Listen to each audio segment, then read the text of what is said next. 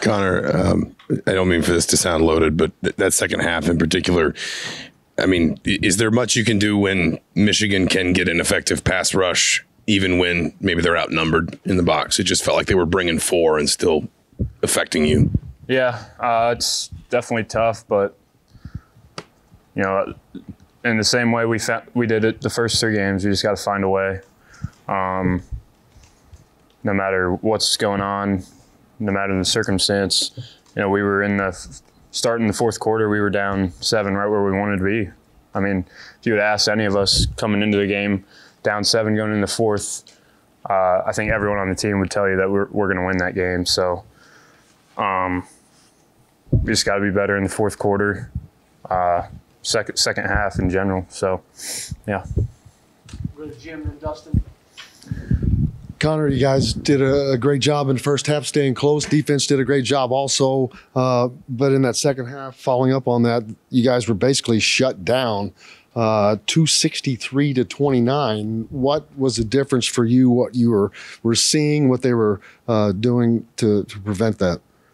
Um, you know, I think a lot of it was uh, they were taking away the short throws, short perimeter throws that we were getting eight, nine yards on in the first half, and they're just uh, getting pressure, um, making it hard on me. But you know, we got to find a way, and you know, nobody really cares. So. Go to Dustin.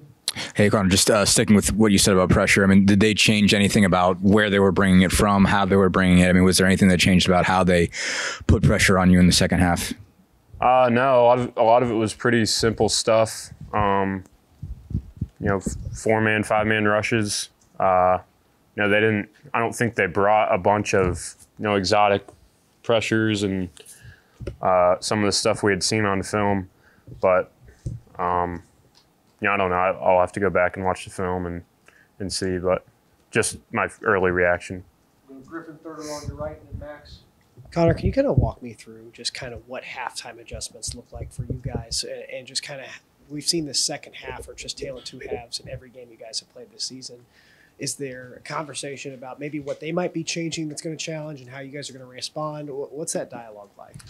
Yeah, well, I, I mean, we were tied ten to ten at half, so, um, you know, really, we scored two touchdowns in the first half, and um, one of them got called back, uh, whatever. But, um, you know, Michigan, their defense, they do so much um, coverage in, in the back end that you don't really know what they're going to play. I mean, we were getting a lot of man, so we expected a lot of man, and had some man beaters um, that we called in the second half, and uh, we just couldn't couldn't get them off, couldn't get the ball ball out of my hands soon enough. So, um, yeah.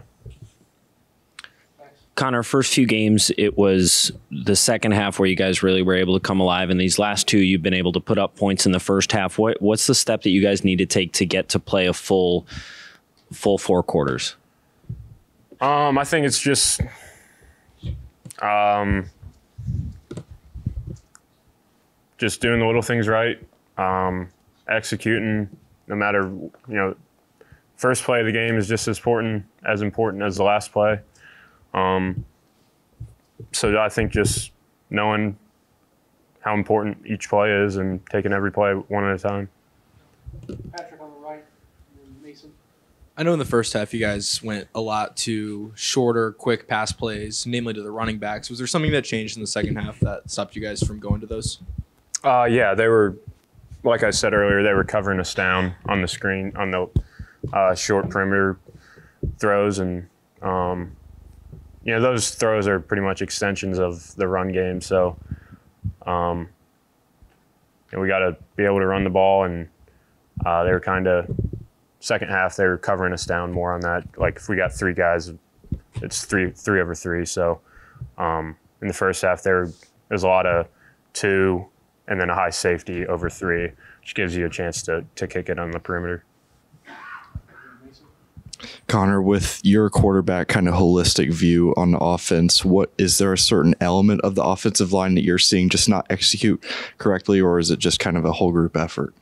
Uh, I don't know. I'll have to go back watch the film, but um, those guys, I mean, they're working their butts, their butts off, and um, as much as people want to talk down on them, I mean, they're they're working hard every single day, just like the rest of the team, giving it their all. Um, you know, they're fighting out there. They're so, you know, those are my brothers. I love them, and you know, I'm never going to say anything bad about them. Great, thanks, Connor. Thanks, guys.